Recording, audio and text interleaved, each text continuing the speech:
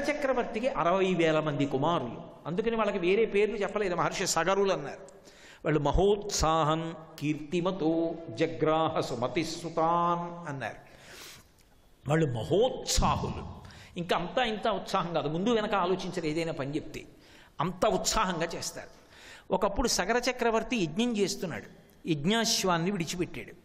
ఆ యజ్ఞాశ్వాన్ని ఇంద్రుడు అపహరించాడు. యజ్ఞాశ్వాన్ ఇది తరచుగా వస్తుంది పురాణంలో. ఇంద్రుడు అపహరించేశాడు. ఎవరో తపస్సు చేస్తుంటే ఇంద్రుడు వచ్చి భగ్నం చేసేశాడు. అనగానే మనకి ఏమనిపిస్తుందంటే ఏమిట్రా ఇంద్రుడికి ప్రతినాయకుడి లక్షణాలు ఎక్కువ ఉన్నాయి దేవతలకు అధిపతి అంటారు. కానీ ఇదెక్కడి ఎక్కడి ఎవరైనా యజ్ఞం చేసుకుంటూ ఉంటే రంభా ఊర్వశీ మేనకల్ని పంపించడం వసంత ఋతువుని పంపించడం కోయిలల్ని పంపించడం. లేకపోతే ఇదిగో ఎవరైనా యజ్ఞం చేస్తుంటే ఆ యజ్ఞాశ్వాలను ఎత్తుకుపోతూ ఉండడం. ఎందుకు ఇంద్రుడు ఇలాంటి పనులు చేయడం అనిపిస్తుంది? కానీ అందులో తత్వాన్ని మీరు చాలా జాగ్రత్తగా గమనించాలి. గమనించకపోతే ఏమవుతుందంటే మనకి తగినంత పరిణితి లేక పెద్దల్ని అధిక్షేపించడానికి అది కారణమవుతుంది. ఒక విషయం గమనించండి ఆయన దేవతలకి అధిపతి ఇంద్రుడు. దేవతలకి అన్నం ఎక్కడి నుంచి వస్తుంది? మనం యజ్ఞయాగాది క్రతువులు చేసి హవిస్సునిస్తే ఆ హవిస్సు దేవతలు తింటారు. దేవతలు హవిస్సు తింటే ఏం చేస్తారు? వాళ్ళు ఏదైనా పుచ్చుకుని ప్రసన్నులైతే ఊరుకోరు లోకానికి ఉపకారం చేస్తారు. వాళ్ళు వర్షం కురిపిస్తారు. వర్షం కురిపిస్తే పంటలు పండుతాయి. పశువులు కూడా సంతోషంగా ఉంటాయి పాడి వస్తుంది పాడి పంటలు ఉంటే మనం సంతోషంగా ఉంటాం. మళ్ళీ పంట వస్తే మళ్ళీ యజ్ఞం చేస్తాం. మళ్ళీ యజ్ఞంలో హవిస్సు దేవతలు తింటే మళ్ళీ వర్షం కురిపిస్తారు. అందుకే ఈ ధర్మచక్రం గురించి భాగవతంలో దశమస్కంధంలో నందుడు ఒక మాట చెప్తాడు. మనము ఎప్పుడైనా మఖము చేయ వజ్రిమది సంతసించును. వజ్రి సంతసింప వానకురియు. వానకురిసి గసము వసుమతిపై పెరుగు. గసము మేసి ధేను గణము బ్రతుకు. మనం యజ్ఞం చేస్తే ఇంద్రుడు సంతోషిస్తాడు. ఇంద్రుడు సంతోషిస్తే వర్షం పడుతుంది. వర్షం పడితే మనకి అన్ని అందరికీ కూడా పాడి పంట. పాడి పంట ఉంటే మళ్ళీ యజ్ఞం. యజ్ఞం చేస్తే హవిస్సు హవిస్సు ఇంద్రుడు తింటాడు. ఇంద్రుడు దేవతలు తింటే మళ్ళీ వర్షం. ఇది ఒక చక్రం. అలా తిరుగుతూ ఉంటుంది. ఇందులో ఎవరైనా యజ్ఞయాగాది క్రతువులు చాలా విశేషంగా చేశారనుకోండి అన్ని యజ్ఞాలు చేసి భక్తితో కూడినటువంటి కర్మాచరణము చేస్తూ వెళ్ళిపోతే ఎప్పుడో అప్పుడు ఈశ్వరుడు యొక్క అనుగ్రహం కలుగుతుంది. కలిగిన నాడు భక్తితో కూడిన కర్మాచరణము చెయ్యగా చెయ్యగా చెయ్యగా చెయ్యగా వచ్చేటటువంటి ఫలితం ఏమి అంటే వైరాగ్యం. వైరాగ్యము అంటే ఇక ఏ కోరిక లేనటువంటి స్థితి అంకురిస్తుంది. అది మనుష్య జన్మకి అత్యంత అవసరమైన స్థితి. ఒక ఒక స్థితికి వెళ్ళిన తర్వాత అది అత్యంత ప్రధానం. ఆ వైరాగ్య స్థితికి వెళ్ళిపోయిన తర్వాత పాత్రత ఏర్పడుతుంది. ఆ పాత్రత వలన జ్ఞానము కలుగుతుంది. జ్ఞానము వలన మోక్షం ఏర్పడుతుంది. ఇప్పుడు భక్తితో కూడిన కర్మాచరణము మనిషిని జ్ఞాన్ని చేస్తుంది ఎప్పుడో అప్పుడు ఒకసారి జ్ఞానిగా అయిపోయాడు అనుకోండి ఇక కర్మాచరణం ఉండదు. అందుకే భగవాన్ రమణులు సంధ్యావందనం చేశారా అండి? భగవాన్ రమణులు యజ్ఞం చేశారా అండి? భగవాన్ రమణులు గోచి పోసి పంచ కట్టుకున్నారా అండి? అని అడగకూడదు. జ్ఞానిని అనుకరించరాదు. ఎందుకంటే వాళ్ళ స్థాయి దాటిపోతారు ఇంకా. గోడ దాటి అవతల వైపుకి వెళ్ళిపోవాలనుకున్నప్పుడు ఒక వ్యక్తి కర్ర పట్టుకుని పరిగెత్తి పరిగెత్తి పరిగెత్తి కర్రని భూమిలో దాపుగా పెట్టి దాన్ని ఆధారం చేసుకుని శరీరాన్ని పైకెత్తి గోడ దాటి అవతలకి పడిపోయేటప్పుడు ఇంత ఉపకారం చేసి నాతో పాటుగా వచ్చి భూమికి తాటించి నా శరీరం పైకి లేచి గోడ అవతలకి వెళ్ళిపోవడానికి ఉపకరించిన ఓ కర్ర నువ్వు నాతో రా అని తీసుకెళ్ళడానికి ప్రయత్నిస్తే యువతలే పడిపోతాడు. కర్రని ఇటు వదిలి తాను అటు పడిపోతాడు. అలా భక్తితో కూడిన కర్మాచరణం ఎంతసేపు అంటే జ్ఞానము కలిగే వరకు. జ్ఞానము కలిగాక ఇక కర్మ ఉండదు. అందుకే ఆ స్థాయికి వెళ్ళిపోయిన మహాపురుషుల యొక్క చేష్టితములను ప్రశ్నించరాదు. దాన్ని మనకి అన్వయం చేసుకోకూడదు. నువ్వు ఆ స్థాయికి వెళ్ళకుండా ఆయన చేశాడండి నేను చేస్తానండి అంటే ఆయన అగ్నిహోత్రంలో చెయ్యడతాడు నువ్వు పెడతావా? ఆయన మహాజ్ఞాని. బ్రహ్మవిద్ బ్రహ్మైవ భవతి. బ్రహ్మమును తెలుసుకుని బ్రహ్మమై ఉన్నాడు. ఆయన స్థాయి నీకు రాకుండా ఆయన చేసినవి నువ్వు చేస్తే ఎలా? చేయకూడదు. నువ్వు ఆయన చెప్పింది చెయ్యాలి. ఇప్పుడు కర్మాచరణము చేసుకుంటూ వెడితే ఒకప్పుడు జ్ఞానము కలుగుతుంది. జ్ఞానము కలిగిన తర్వాత కర్మతో సంబంధం ఉండదు అప్పుడు ఇక ఆయన ఇది చేశాడా చేయలేదాతో సంబంధం ఉండదు. అందుకే రమణ మహర్షి దగ్గరికి వెళ్ళి అయ్యా రాత్రి బాగా నిద్రపోయారా? అంటే ఓ ఇది నిద్రపోయింది అనేవారు. ఇది నిద్రపోతే మరి మీరు? సాక్షిని అది శరీరం నిద్రపోతోందని చూస్తున్నాను. నేను అలా అనగలనా? నేను నిద్రపోతుంటే నేను సాక్షిగా చూడగలనా? నేను ఆ స్థాయికి ఎదగలేదు. నేను తెల్లటి గోచి ఓడి తయారు చేయించుకుని కట్టుకు తిరిగితే రమణ మహర్షిని అవుతానా? అవును. రమణ మహర్షి స్థాయికి వెళ్ళిపోయిన తర్వాత గోచి పెట్టుకున్నానో తువ్వాలు కట్టుకున్నానో జ్ఞానిని అవుతాను. జ్ఞాని అయితే కర్మాచరణం ఉండదు. కర్మాచరణము మానేస్తే దేవతలకి హవిస్సులు ఉండవు అందుకే ఎక్కడ పండిపోతాడో అని ప్రతిబంధకం కల్పిస్తుంటాడు ఇంద్రుడు. అది దాటితే తప్ప పండడం ఉండదు. ప్రతిబంధకం లేని పంట ఎక్కడి నుంచి వస్తుందండి? అవరోధాన్ని ఎదుర్కొన్నప్పుడే కదా పండడం. పుటం పెట్టంది అగ్నిహోత్రానికి మెరుగెక్కడిది అందుకు అవరోధం వస్తుంది. అది గమనించాలి తప్ప ఇంద్రుడికి అదే పనండి ఎత్తుకుపోతాడని అనకూడదు. అందుకని యజ్ఞీయాశ్వమపాహరత్ యజ్ఞాశ్వాన్ని ఇంద్రుడు అపహరించాడు. మళ్ళీ వెనక్కి రండి. ఎక్కడిది? సగర చక్రవర్తి యజ్ఞం చేస్తుండగా. ఆయన విడిచిపెట్టిన యజ్ఞాశ్వాన్ని అపహరించాడు ఇంద్రుడు. ఇప్పుడు ఆ యజ్ఞాశ్వాన్ని కనుక్కోవాలి. అందుకని ఆయన అన్నాడు తన బిడ్డల్ని పిలిచాడు అరవై వేల మంది సగరుల్ని. ఒరే మీరు వెళ్ళి వెతకండి యోజనామే కవిస్తీరం. ఒక్కొక్కళ్ళు ఒక్కొక్క యోజనం వెతకండి. అరవై వేల మంది ఉన్నారుగా? ఈ అరవై వేల మంది బయలుదేరారు. బయలుదేరి భూమిని అంతటినీ తవ్వేయడం మొదలుపెట్టారు. తవ్వేయడం మొదలుపెట్టి ఊరుకోలేదు వాళ్ళు. ఏ ప్రాణి కనపడితే ఆ ప్రాణిని పట్టుకుని ఇదే రామన యజ్ఞాన్ని భంగం చేసింది ఇదే రామన యజ్ఞాశ్వాన్ని ఎత్తుకుపోయి ఉంటుంది అండం కొట్టి చంపేస్తూ ఉండడం. ఇప్పుడు ఏమైందంటే బ్రహ్మగారు చేసినటువంటి సృష్టి అస్తవ్యస్తం అవుతోంది. అందరూ ప్రాణుల్ని చంపేస్తున్నారు వాళ్ళు. అందుకుని దేవతలు వెళ్ళి అడిగారు బ్రహ్మగారిని ఇదేమి ఉపద్రవమయ్యా నువ్వు సృష్టి చేశావు. వాళ్ళు యజ్ఞాశ్వం కనపడటం లేదని వాళ్ళు కనపడే వాళ్ళందరినీ చంపేస్తున్నారు. మరి ఇది దోషం కదా. ఈ అరవై వేల మంది అలా ప్రవర్తించకూడదు కదా? భూమిని పాడు చేసేస్తున్నారే గోతులు పెట్టేస్తున్నారే ఎక్కడ పడితే అక్కడ? మరి ఎలా? వాళ్ళని ఎవరిని గ్రహిస్తారని అడిగారు. వాళ్ళు ధర్మం గురించి మాట్లాడతారు దేవతలు. బ్రహ్మగారు అన్నాడు కాపిలం రూపమాస్తాయ ధారయత్య నిశంధరాం తస్య కోపాగ్నినా దగ్ధ భవిష్యంతి నృపాత్మజా అన్నాడు. ఈ భూమి అంతా శ్రీ మహావిష్ణువుది. నాది కాదు నీది కాదు. శ్రీ మహావిష్ణువుకి చెందుతుంది. అందుకే రామకృష్ణ పరమహంసని శిష్యుడు అడిగాడు అసలు ఈశ్వరుడు ఇంత పరిపాలన చేయడంలో ఎప్పుడు ఇలా ముఖం ముడుచు కూర్చుంటాడా? గంభీరంగా లేకపోతే ఎప్పుడన్నా నవ్వుతాడా? అని అడిగారు. అడిగితే పరమహంస అన్నారు ఎప్పుడు రోజు పక పక పక పక నవ్వుతూనే ఉంటాడు ఆయన. అంటే ఎందుకు నవ్వుతాడు అలా? అలా అస్తమానం నవ్వితే బాగుండదుగా? మరి ఎందుకు నవ్వుతాడని అడిగాడు. అడిగితే ఉరేయ్ నేను ఈ భూమిని సృష్టించినప్పటి నుంచి చూస్తున్నాను. వీడు ఒక పెద్ద తాడు ఒకటి పట్టుకుని కొలతలు వేసుకుని దస్తావేజులు రాస్తాడు. ఇలా రాసిన వాళ్ళు ఎంతమంది వచ్చారో ఎంతమంది పేరెట్టుకున్నారో ఆ తర్వాత వాళ్ళందరూ వెళ్ళిపోయారు. భూమి అలాగే ఉంది. మళ్ళీ ఇవాళ ఇంకోటి బయలుదేరాడు. రో టే పట్టుకుని సంతోషం. ఆయన నవ్వుతుంటట. కారే రాజులు రజ్యములు గెలువరే గర్వోన్నతింపొందరే వారేరీ సిరి మూటగట్టుకుని పోవంజాలినే భూమిపై పేరైనం గలదే సిరి ప్రముఖులను ప్రీతిన్ యశక్కాములై ఈరే కోర్కెలు. వరలంతలపరే ఈ కలమున్ భర్గవ అంటారు పోతన గారు భాగవతంలో. ఇచ్చినవాడెవరో వాడు అమృతత్వాన్ని పొందినవాడు త్యాగేనైకే అమృతత్వమానసహు దాచుకున్నవాడే అవుతాడు లుబ్ధుడు అవుతాడు అంతే వాడి పేరు కూడా ఉండదు లోకంలో ఎంతమంది భూమిపతులం భూమిపతులం అని పరిపాలన చేశారు? ఏది ఒక్క రాజు పేరు గుర్తుందా? దానం చేసిన వాడెవరో వాడు జ్ఞాపకం ఉండిపోయినవాడు.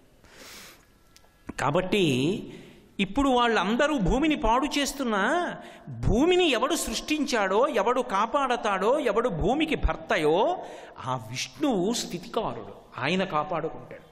తస్య కోపాగ్నినా దగ్ధా భవిష్యంతి నృపాత్మజా. ఆ కపిల కపిల రూపంలో ఉన్నాడు విష్ణు ఇప్పుడు. ఆయనకి కోపం వస్తుంది. తస్య కోపాగ్నినా దగ్ధ. ఆయనకే కోపం వచ్చిందా? అదే అగ్నిహోత్రం. ఇక కొత్తగా అగ్ని అక్కర్లేదు. ఆయనకి కోపం రావడం అగ్ని అవుతుంది. ఆ అగ్నికి అరవై వేల మంది చచ్చిపోతారు? రా మీరు వెళ్ళండి మీ పని చేసుకోండి అన్నాడు. వాళ్ళు వెళ్ళిపోయారు దేవతలందరూ. వీళ్ళు తవ్వుకుంటూ వెళ్ళారు. అది కూడా దిక్కు ప్రదక్షిణంగా మొదలెట్టారు. తూర్పు దిక్కుకి వెళ్ళి తవ్వుకుంటూ వెళ్ళిపోయారు. వెళ్ళిపోతే వాళ్ళకి భద్రగజాలు అంటారు. భూమిని మోస్తూ ఉంటాయి. వాళ్ళకి విరూపాక్షం అన్న గజం కనపడింది తూర్పు దిక్కున. అది భూమిని మోస్తుంది. ఒక్కొక్క దిక్కున ఒక్కొక్క ఏనుగు ఉంటుంది. అలా మోసి మోసి మోసి మోసి దానికి తలకాయ పెట్టేదో ఇలా అంటుంది ఒకసారి తట్టెత్తుకున్నట్టు. అది కుంభస్థలాన్ని కదిపితే భూకంపాలు వస్తాయని రామాయణం. అందుకని విరూపాక్షం తూర్పు దిక్కున ఏనుగును చూశారు. ప్రదక్షిణం చేశారు. అక్కడ అంతా తవ్వారు చూశారు. ఏనుగు వాళ్ళ గుర్రం కనపడలేదు. అడ్డొచ్చిన ప్రాణులన్నిటినీ చంపేశారు.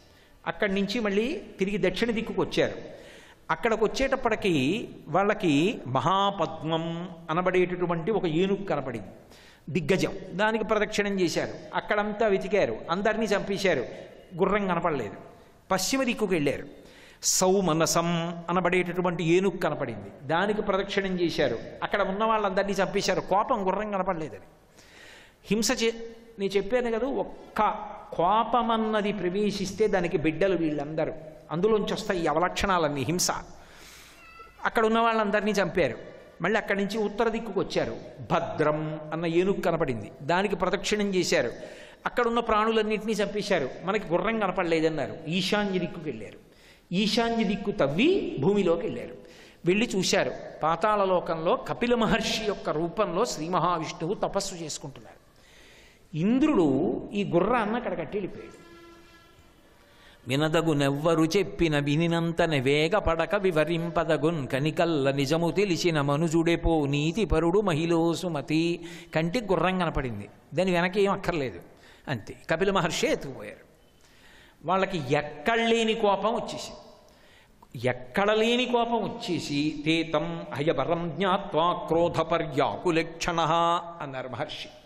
వాళ్ళ యొక్క కళ్ళు క్రోధంతో ఎర్రగా అయిపోయాయి. అయిపో అక్కడ ఉన్న చెట్లన్నీ పీకేశారు. రాళ్ళు పట్టుకున్నారు గుణపాలు పట్టుకున్నారు నాగళ్ళు పట్టుకున్నారు.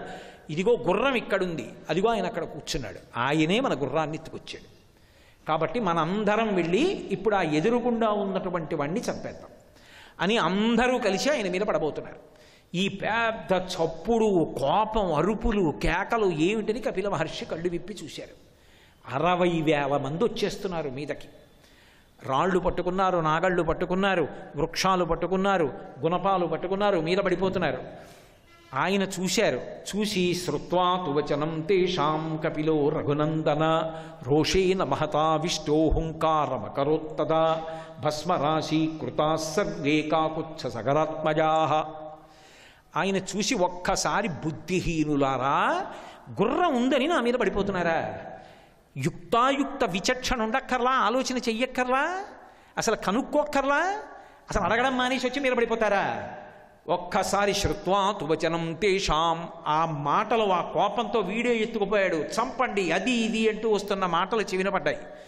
కపిలో రఘునందన రోషేన మహతావిష్టో కోపం వచ్చింది ధర్మ సంస్థాపన చెయ్యాలి. ధర్మం కోసం అని చెప్పి కారణం అది. ఆయన అప్పుడు యుద్ధం చేయలేదు. ఎందుకని? మహర్షిగా ఉన్నాడు ఆయన. కపిల మహర్షి వేషంలో ఉన్నాడు. అందుకని ఆయన ధ్యానమునకు భంగం కలగకూడదు. కూర్చున్నవాడు కూర్చున్నట్టే రోషంతో ఒక్కసారి హోం అన్నాడు. అంతే. హుంకారమకరోత్తదా. ఆయన అలా హుంకారం చేసేటప్పటికీ భస్మరాశి కృతా సర్వే కాకుత్స సగరాత్మజా అరవై వేల బూది కుప్పలైపోయి అరవై వేల మంది అరవై వేల బూది కుప్పలైపోయి నేల మీద పడిపోయారు. కోపం రావడం చాలా తేలిక. కోపానికి వశపడిపోవడం అంతకన్నా తేలిక. కోపానికి వశపడిపోయి కపిల మహర్షి అంతటి మహానుభావుడి మీదుగా పరిగెత్తారు. గుర్రం ఏదో అక్కడ కనపడిందని. ఏమైంది? అరవై వేల మంది పడిపోయారు బూది కుప్పలుగా. అక్కడతో పోలేదా కథ? అది ఏమైందో తెలుసా? తర్వాత అంశుమంతుడు వచ్చాడు వెతకడానికి గుర్రాన్ని. చూశాడు అరవై వేల బూది కుప్పలు కనపడ్డాయి గుర్రం కనపడింది. కపిల మహర్షికి నమస్కారం చేసి గుర్రాన్ని తీసుకెళ్ళిపోతూ అర్థమైంది. ఓ నా పినతండ్రులు అరవై వేల మంది మరణించారు. వీళ్ళు చనిపోతే మొట్టమొదట నేను జలతర్పణ చెయ్యాలి. తండ్రులు కాబట్టి చనిపోయారు కాబట్టి అని గబగబా వెళ్ళి నదిలో నీళ్ళు తెచ్చి ఆ తర్పణ విడిచిపెడుతున్నాడు. మేనమామ గరుత్మంతుడు అన్నాడు లౌకిక జలముల చేత వీళ్ళని ఉద్ధరించడం సాధ్యం కాదు. ఈ భూమి మీద ఉన్న నీళ్ళు పనికిరావు వీళ్ళకి. ఎందుకంటే వీళ్ళు చేసినటువంటి తప్పుకి మహానుభావుడైనటువంటి కపిల మహర్షి యొక్క హుంకారానికి ఆయన రోషాగ్నికి చచ్చిపోయారు. కాబట్టి వీళ్ళకి భూమి మీద ఉన్న నీళ్ళు తర్పణకి పనికిరావు. తర్పణకి పనికిరావు కాబట్టి వీళ్ళు ఊర్ధ్వలోకాలు పొందరు స్వర్గలోకానికి వెళ్ళరు. వీళ్ళు అలా తిరుగుతూ ఉంటారు అంతరిక్షంలో. వీళ్ళని ఉద్ధరించాలి అంటే భూమి మీద లేని జలం రావాలి. ఊర్ధ్వలోకాల నుంచి గంగ కిందకి దిగాలి. అలా దిగితే పెడతారన్నారు. ఎలా ఇస్తాడు తర్పణ? ఏడుస్తూనే విడిచిపెట్టేసి తర్పణ కూడా చేయకుండా గుర్రాన్ని తీసుకుని వెళ్ళిపోయాడు. విన్నాడు సగర చక్రవర్తి బాధపడ్డాడు. యజ్ఞం పూర్తయిపోయింది. ఆ తరువాత కొన్ని వేల సంవత్సరములు పరిపాలన చేసినంత కాలం ఆలోచించాడు. వీళ్ళు కోపం తెచ్చుకోవడం చాలా తేలిగ్గా తెచ్చేసుకున్నారు. గుర్రం కనపడిందని కపిల మహర్షి జోలికి వెళ్ళారు. చేతిలో ఏ ఉంటే అవి పట్టుకు పరిగెత్తారు. ఎలా పడితే అలా ఆయన్ని మీద కేకలేశారు. ఆయన ఒక్కసారి కోపం తెచ్చుకున్నాడు. అది ఉత్తమ కోపం ధర్మ సంస్థాపనార్థం. అందుకే కోపమునందు నిగ్రహింపబడిన కోపం ఉత్తమ కోపం. అలా ఎలా ఉంటుందండి అంటారేమో. కామము తప్పు క్రోధము తప్పు సాధారణ సిద్ధాంతంలో. కామము అంటే కోరిక. భగవంతుణ్ణి పొందాలని నాకు కామం ఏర్పడితే ఈశ్వర కామము. నాకు భగవంతుణ్ణి పొందాలని కామం. ఇప్పుడు నేను అటువంటి కోరిక పొందాను అనుకోండి తప్ప అది అప్పుడు తప్పు కాదు. క్రోధము. నాకు కోపం ఉండడం తప్పు. ఏమిటి నాకు ఈ దిక్కుమాలిన కోపం అని? కోపం మీద కోపం వచ్చిందనుకోండి అప్పుడు అది ఉత్తమ కోపం. ధర్మానికి దోషం వచ్చిందనుకోండి నేను అప్పుడు అది సహించలేక ఎత్తి చూపించాను అనుకోండి ఉత్తమ కోపం. అది తప్పు కాదు. అందుకే కోపం దేనికి వచ్చిందన్నది ప్రధానమై ఉంటుంది. అది ఆలోచించి చెప్పగలిగినటువంటి వాడు స్థితప్రజ్ఞుడు. వాడిని సామాన్యంగా అంచిన కోపం వచ్చి కపిల మహర్షి తప్పు చేశారనడానికి ఉండదు అందుకే. ఎవరు దోషం చేశారంటే భూమినంతటిని పాడు చేశారు ఒక్క గుర్రం కనపడలేదని. అన్ని ప్రాణుల్ని చంపేశారు. గుర్రం అక్కడ కనబడితే తను ఎత్తుకొచ్చినట్టే. తను ధ్యానం చేసుకుంటుంటే తన మీదకి వచ్చేస్తారా అరవై వేల మంది? చెప్తే వినే స్థితిలో ఉన్నారా? లేరు. వాళ్ళకి అక్కడ గుర్రం కనపడిందంటే క్రోధపర్య అకులిక్షణ అంత కోపంతో ఉన్నవాడికి నువ్వు మంచి చెప్తే మాత్రం వాడు వింటాడా? నిలబడి. చెప్పి ప్రయోజనం ఏముంటుంది అప్పుడు ఇంకా? అందుకే వినా మార్గం లేదు. ఆయన కూడా కోపం తెచ్చుకున్నారు. అంతే అరవై వేల మంది బూది కుప్పలయ్యారు. ఇప్పుడు ఏమయ్యారు? వెనక వాళ్ళకి వాళ్ళని తరింపచేయడం కూడా సాధ్యం కాల. రామాయణం హెచ్చరిక చేస్తుంది. చాలా జాగ్రత్త స్మ కోపం తెచ్చుకోవడం తేలిక. కోపము తెచ్చుకోకూడని చోట తెచ్చుకుంటే తర్వాత తరాలు వాళ్ళు కూడా ఉద్ధరించలేని స్థితికి జారిపోతావు. చాలా జాగ్రత్తగా ఉండు. సగర చక్రవర్తి ఏమీ చేయలేకపోయాడు. అయిపోయింది ఆయన పరిపాలనా కాలం. శరీరం విడిచిపెట్టేశాడు. సగర చక్రవర్తి తర్వాత మళ్ళీ అంశుమంతుడు వచ్చాడు. అంశుమంతుడు ఏమీ చేయలేకపోయాడు. కొన్ని వేల సంవత్సరాలు పరిపాలన చేశాడు. ఆకాశం నుంచి గంగను ఎలా తేవాలో తెలియలేదు. అంశుమంతుడు వెళ్ళిపోయాడు. దిలీపుడు వచ్చాడు. కొన్ని వేల సంవత్సరములు పరిపాలించాడు. ఎలా తేవాలో తెలియలేదు గంగని. ఆయన వెళ్ళిపోయాడు. వీళ్ళు అలాగే తిరుగుతున్నారు గాలిలో. గుక్కెడు నీళ్ళు లేవు. తర్పణ ఇవ్వడానికి ఈ లౌకిక జలములు పనికిరావు. జలములు దా ఇచ్చేవాళ్ళు కూడా లేక శోషించిపోయిన కంఠాలతో తిరుగుతున్నారు. ఎందువల్ల? ఏ కారణానికి? ఎక్కడ కోపం తెచ్చుకోకూడదో అక్కడ తెచ్చుకున్నారు. అప్పుడు తెచ్చుకోవడం తేలికైపోయింది పరిగెత్తడం తేలికైపోయింది రాళ్ళట్టుకుని పిచ్చి కేకలేయడం తేలికైపోయింది. ఆయన కోపం తెచ్చుకుంటే ఉద్ధరించేవాళ్ళు లేడు తర్వాత. ఆ తర్వాత భగీరథుడు వచ్చాడు. భగీరథ ప్రయత్నం అంటారు ఎవరి కోసం? కోపం తెచ్చుకు పడిపోయిన వాళ్ళని ఉద్ధరించడానికి ఎంత కష్టపడవలసి వచ్చిందో మహానుభావుడు. అన్ని భోగాలున్నా విడిచిపెట్టేసి వెళ్ళిపోయి మహాతపస్సు చేశాడు బ్రహ్మగారి గురించి. పంచాగ్నిహోత్ర తపస్సు చేశాడు. నాలుగు వైపులా అగ్నిహోత్రాన్ని నుంచి సూర్యుడి వంక చూస్తూ చేశాడు. ఊర్ధ్వబాహు పంచతప మాసాహారోజితేంద్రియ తస్య వర్ష సహస్రాణి ఘోరే తపసి తిష్ఠిత వెయ్యి సంవత్సరములు చేశాడు అలా తపస్సు. చేస్తే బ్రహ్మగారు ప్రత్యక్షం అయ్యారు ఏ ప్రతిబంధకం లేకుండా మీ వంశం ఎప్పటికీ కూడా పరంపరాగతంగా వృద్ధిలోకి వచ్చేటట్టుగా సంతానం లేకపోవడం చేత వంశము విచ్ఛిన్నమైపోయింది అన్న స్థితి లేకుండా వరం ఇస్తున్నాను మీ వంశం నిలబడుతుంది. ఇక రెండవది నీ వంశంలో పుట్టి కపిలుని యొక్క కోపాగ్నికి మరణించిన వాళ్ళని ఉద్ధరించడానికి గంగని ఆకాశం నుంచి కిందకి దింపమని అడుగుతున్నావు. కానీ ఒక్క విషయం గుర్తుపెట్టుకో. పృథివీన సహిష్యతి. ఒకవేళ నేను కానీ గంగని విడిచిపెడితే వెళ్ళమని ఆదేశిస్తే ఈ భూమి తట్టుకోదు గంగ కింద పడితే. అందుకని నా వల్ల కాదు నేను పంపించలేను. తాం వైధారయితుం వీరనాంద్యం పశ్చాశూలిన ఆ గంగ భూమి మీద పడాలంటే మధ్యలో పట్టుకోవాలి ఒక ఆయన. ఒక్క శివుడు తప్ప పట్టేవాళ్ళు లేడు. ఆయనకి నేను చెప్పలేను.